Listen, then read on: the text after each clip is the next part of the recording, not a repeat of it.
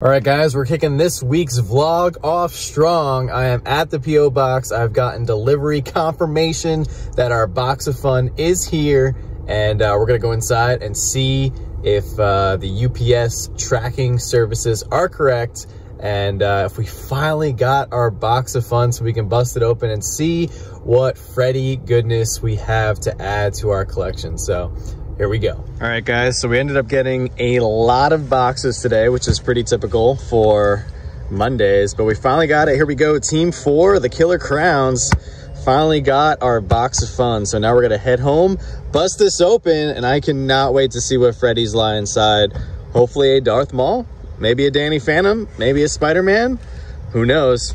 We're gonna find out in just a little bit. All right, guys, so that was pretty crazy. We ended up pulling not one, but two Freddy Funko as Darth Maul in our unboxing video. If you guys obviously didn't see it, go check it out to see all of the other Freddys that we pulled. And uh, I'm sure we will have announced it by now, but um, of course we will be giving away one of our Freddy Funko as Darth Mauls in celebration of us hitting 10 thousand subscribers. So one I will keep for my collection and one will go off to another lucky collector. So now moving into the collection room, we got Alex. I heard uh, some more people want to see Alex pop up in more videos. So here he is. How's it going, Alex? How's life? Just hanging out, just shedding. Yeah, I know. I know. And uh, of course, we had our auction the other night. So Joanna is in here working away, packing all the boxes, which we luckily have quite a few of them already packed and ready to ship out. We have a few left that we need to get out. And uh, I'm going to actually leave here in a couple minutes to go drop them off at the post office. Didn't schedule pickup today just because Joanna had some stuff that she had to do around town. So that's why we didn't have the pickup. Sometimes we do it, sometimes we don't. Um, if we do schedule the pickup, then we have to wait for the mailman to come because if he rings the doorbell and you're not here, he will, of course, run away. So, all right, we're going to get back to work and finish packing all the boxes. Like I said, we got a few bundles here up on the shelf that we need to get out of here. And then I have to go back over to the post office and uh, grab the incoming boxes. All right, we are dropping off the boxes now. Just once again, want to say thank you to everybody who comes out and supports our auctions, and your boxes will be in your possession very shortly. All right, guys, so I just got home from dropping off the boxes, and we have another nice little box that just showed up full of what we think is brand new sodas from our distributor. So we're going to crack these puppies open, and uh, I'm sure by now we've dropped the video, so if you guys want to go check out our first look video, on what we think is some brand new sodas, uh, definitely go check it out. All right, guys, so we're back at the P.O. box. We got the notification that several large packages have arrived, which we can only assume is the next portion of the giant collection that we have purchased. So that's very exciting. We're gonna go inside, pick those up. I do have the Jeep today, thankfully. Uh, so nice driving the Jeep. I, I love Joanna's car, but the Jeep is my baby. So got the Jeep. We're going to be going inside, probably filling up this whole space with all the boxes.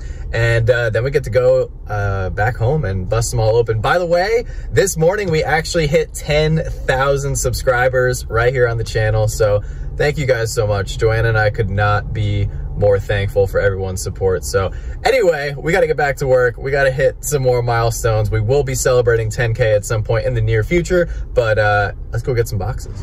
All right, guys. So just like we predicted, we have three large boxes from this collection. We also got some smaller boxes. Um, looks like one of our Funko Shop SDCC orders just came in. And we also got a letter from uh, a fan of the channel. So hopefully there's a sticker in there that we can use for our community Stanley Cup. So everything fits and uh, let's head on home. All right, guys, so really quick, we just did our first look video yesterday, if you guys didn't get a chance to check that out. And then last night, we actually did a little bonus soda auction. So we gave away a bunch of sodas here. So thank you everybody who came out to the auction. And then check this out, guys. These are all the sodas that we sold. So we're going to be packing those up today. We also sold a couple mystery minis, but I think a majority of you guys are here to get the collection preview. And uh, this is everything that we are going to be inventorying in the next little bit and then showing off to you guys one by one. So stay tuned in a couple seconds. You'll see what is in wave number one. All right, guys, so now we're going to jump into wave number one of this $4,000 collection that just came in. And we're starting off with some awesome Marvel pops. So let's break it down.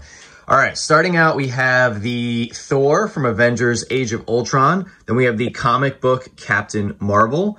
The glow-in-the-dark Captain Marvel from her movie. The only thing that glows in the dark is the Tesseract that is in the little box she's holding. Then we have the Hot Topic exclusive Anti-Venom, Venomized Storm, Black Widow from Avengers Endgame, Venomized Hulk, which is really cool. A lot of detail on there. I understand why a lot of people collect the Venomized Marvel line. Then we have a glow-in-the-dark Target exclusive Flying Captain Marvel. Then we have the Unmasked glow-in-the-dark Marvel Collector Corps Captain Marvel. The Gold Chrome Doctor Strange, which was the fan vote winner. Uh, Funko and Marvel did this team up where they actually let fans vote for the next character to make in gold chrome form, and the winner ended up being Doctor Strange.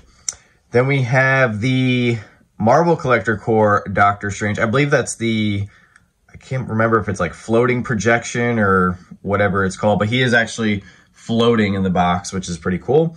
Then we have the Target exclusive Mystique, Hot Topic exclusive Carnage, Hot Topic exclusive Rogue. Over here, we have a pair of really cool ones from the original Guardians of the Galaxy Wave from 2015. We have Mass Star-Lord and Rocket Raccoon. And I think these two are very undervalued. And I have a feeling this is going to be the last time that we see Star-Lord, Chris Pratt's character in the MCU, coming up in Guardians of the Galaxy Volume 3. So this original print run right here might be a good one to grab. All right, then we have the glow-in-the-dark Goose Flerken, where it's uh, getting ready to consume the Tesseract. Once again, that's what glows in the dark. Then we have Black Widow from Civil War, Snowsuit Black Widow from her movie, which surprisingly has a decent amount of value. I did not realize she was where she's currently at. Then we have the comic book Doctor Strange, then we have Jane and uh, the Mighty Thor here from Secret Wars from the Marvel Collector Corps box back in 2015. Of course, we just saw Natalie Portman as the Mighty Thor in Thor Love and Thunder. Then we have the Marvel Collector Corps Holiday Thor where he actually has his hammer, but it's all wrapped up like a present, which is really cute. Then we have Thor from Avengers Endgame where he's actually holding Stormbreaker instead of Mjolnir.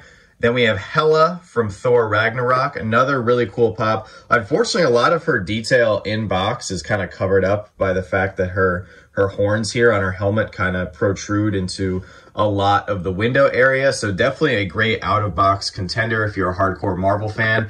And then we have a pair of Black Panther pops. We have Black Panther from Civil War, and then the Marvel Collector Corps glow-in-the-dark Black Panther from the first Black Panther movie. If you guys don't know, or this is your first time watching one of our videos or coming over to our auctions, so we do not sell any Black Panther pops for profit out of respect to Chadwick Boseman and honoring his character. So these two pops will be going up Monday night for charity. I still have to get with Joanna to figure out which charity we've chosen for August. If you guys have any charity suggestions, please drop them in the comments section down below or just message us directly. Um, we do donate to a charity every single month through the channel. It's very important to us. And we've actually had a lot of people reach out and recommend charities that we did end up using. So please feel free to reach out and give us some suggestions.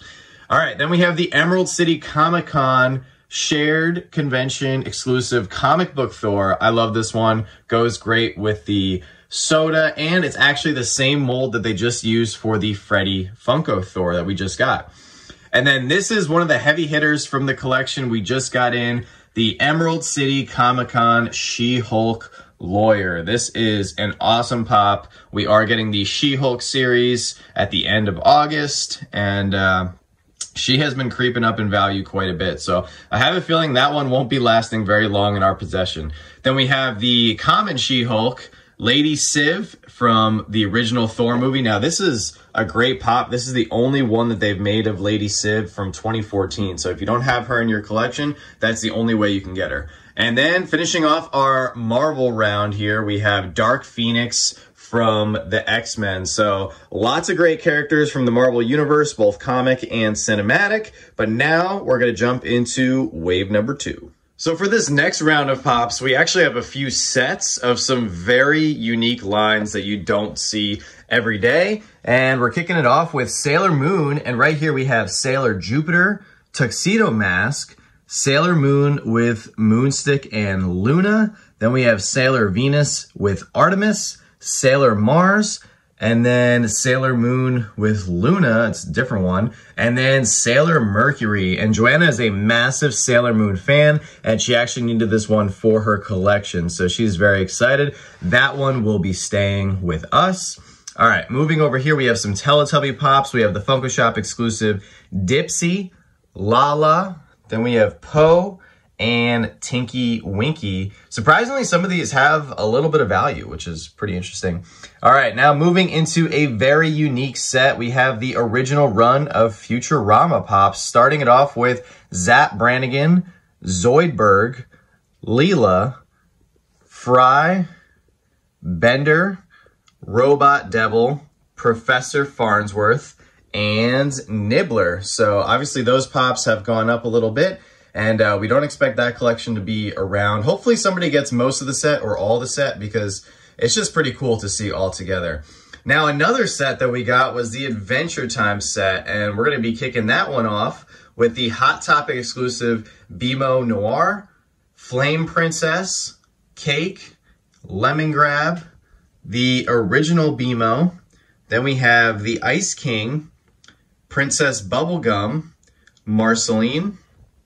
And then coming up here, we have Jake. This is Marceline with the banjo or guitar. I'm not sure which one that is. And then we have Fiona, Finn, and the Lich. Now, these are some very old pops. I mean, they got that classic Funko look, mostly from 2015. And uh, like I said, hopefully somebody can grab most, if not all, of each one of those sets for their collection. Uh, we do not collect Adventure Time or Futurama or Teletubbies for that matter. So hopefully these go off to a good home. But now let's jump into wave number three. Oh, and by the way, guys, before we jump into the next wave of pops, if you guys have not downloaded the Whatnot app, you can actually use our link down below to download the app on your phone or your laptop, and you can save $10 on your first purchase, which will actually get you pretty much very close to a free Funko Pop or even a free Funko Soda. All right, let's get back to the next wave.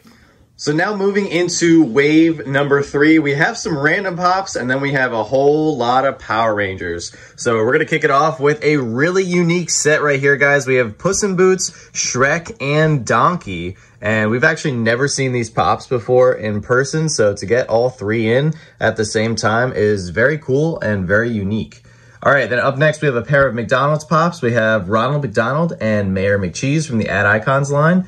Then from DC, I have Batman in the Dawnbreaker suit, which was a Hot Topic exclusive, and part of the really cool 80 year anniversary line. Then we have the Superman Soldier from Batman vs. Superman back in 2016. Then we have the Diamond Edition Carmen Sandiego from Emerald City Comic Con 2019. Then we have She-Ra from the Retro Toys line. Homelander from The Boys, as well as a pair of Starlights from The Boys, which is good because a lot of people have been asking us about The Boys pops. Then we have an Elvis 68 comeback special pop. And then we have one random Star Wars pop, and it happens to be the Rebels Darth Maul, which was a Smuggler's Bounty exclusive. And this one was actually the mold that they just made the Freddy Darth Maul off of. So really cool to get this pop in once again. Now moving into the Power Rangers section, and we have a lot of Power Rangers from the Mighty Morphin line, starting out with Alpha 5, which was a Walmart exclusive, the Metallic GameStop exclusive Blue Ranger, and then right next to it we have the common Blue Ranger. I don't know about you guys, but I love the metallic finish on some of these Power Ranger pops, specifically the blue one. I think that one's awesome.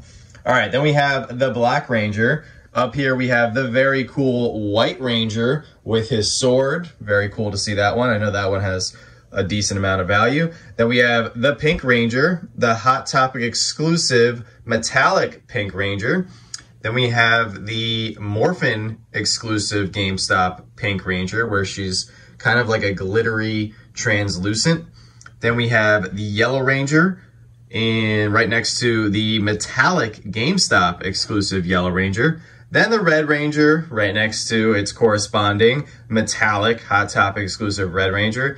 Then we're going to move into the Power Ranger movie line of pops. We have Rita Repulsa, along with Goldar, Lord Drakkon, Lord Zedd, and then we have the Pink Ranger as well as the Red Ranger. So lots of cool pops, especially if you're a Power Ranger fan. I particularly love that Darth Maul. That's one of my favorite Star Wars pops and hands down my favorite Darth Maul. Um, although I do like the hooded one as well. It's it's it's up there. It's still a great one. And that Shrek line is is pretty unique. But let's see what's waiting for us in the next wave. All right, so for this wave, we have a mixture of a little bit of Disney pops, and then for all of our anime viewers, you're in for a special treat because we have a lot of anime pops to show off for you guys. So coming on down here, we have some pops from the Disney 65th anniversary line. We have the Matterhorn bobsled Mickey, Matterhorn bobsled Donald, and oh, what looks like we also have another Matterhorn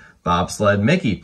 Then we have the Kevin Remix Pop. This was from San Diego Comic-Con 2020. Then we have the Diamond Edition Hot Topic exclusive Minnie Mouse. Then we have Mufasa, and that does it for our Disney Pops. All right, now moving into some Naruto Pops, we have Sunsaid, Itachi, Naruto Uzumaki, Naruto Six Path. This one does glow in the dark. It was a Hot Topic exclusive. Then we have the Naruto Common, Naruto Rasengan. I'm so sorry if I say any of these names wrong, guys. You know I'm not uh, huge on anime. We're trying to learn, though. We are trying to learn. Then we have Hot Topic exclusive Rock Lee. Then we have the Sage Mode Naruto and the GameStop exclusive here, we were pretty shocked at its current value. So hopefully somebody's able to grab that one for their collection. Then we have the Sexy Jutsu, and this is a box lunch exclusive. Then we have the Lightning Blade Kakashi, which was a GameStop exclusive. Orochimaru.